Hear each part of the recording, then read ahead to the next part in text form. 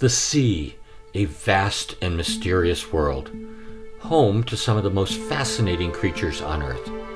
Among them are the seven species of sea turtles, each with unique characteristics and vital significance to the health of our planet. Sea turtles are some of the oldest creatures on Earth. They've been around for more than 100 million years. They are a vital part of the ocean's ecosystem, playing a crucial role in maintaining the health of seagrass beds, coral reefs, and other habitats. The life of a sea turtle begins on land. After mating, female sea turtles make their way to a beach to lay eggs in the sand. They carefully dig a hole and lay their eggs before covering them with sand and returning to the ocean. After a few months, the eggs hatch and baby sea turtles make their way to the ocean. It's a perilous journey with many predators waiting to snatch the vulnerable hatchlings.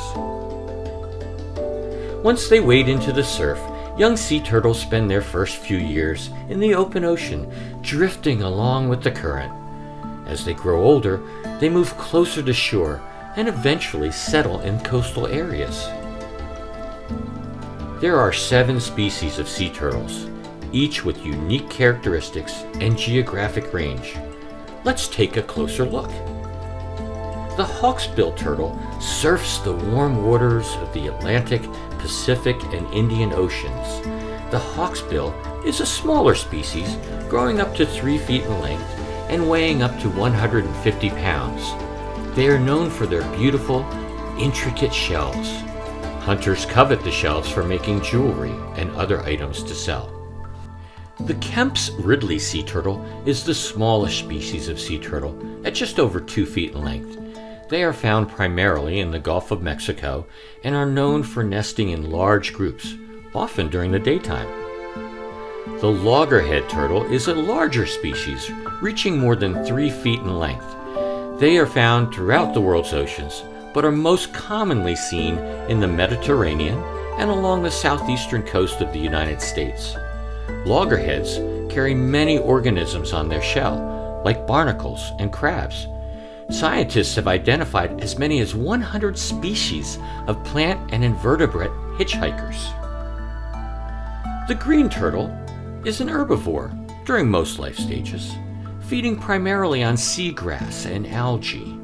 They get their name from the greenish tint to their body fat from the food they eat.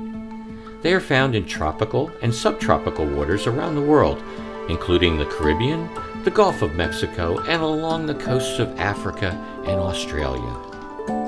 The flatback turtle is found only in Australia and is the least studied of all sea turtle species. They are a medium sized species, growing to just over 3 feet in length. The leatherback turtle is the giant of sea turtles, growing to more than 7 feet in length and weighing up to 2,000 pounds. They are found in all the world's oceans and are unique among sea turtles in that they lack a hard shell, hence the name leatherback. The leatherback is also the oldest of all sea turtle species. They've been around for more than 150 million years.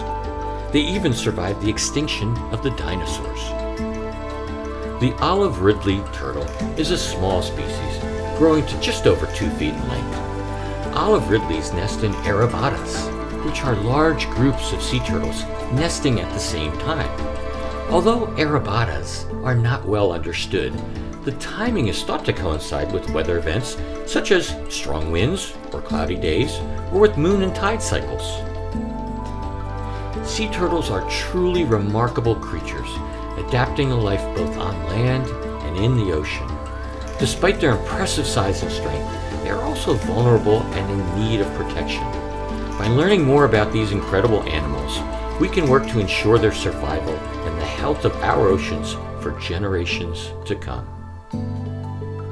Stay tuned this week for additional episodes of Sea Turtle Week, the mini-series, to learn more about sea turtles and how we can all work together to protect them.